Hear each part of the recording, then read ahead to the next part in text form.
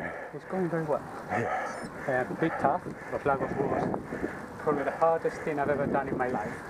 was sweating blood, but I made it, and it's a very, very, very good experience for Carlos Martin.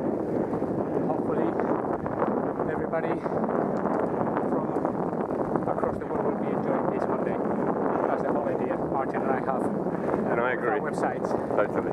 to bring you all to enjoy Asturias. There's, there's nothing like this anywhere else in the world. See, this is why you need to come to Asturias. Look at that.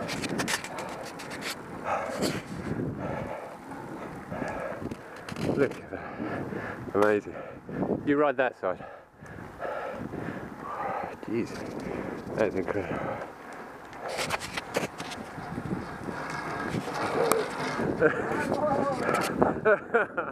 Unbelievable.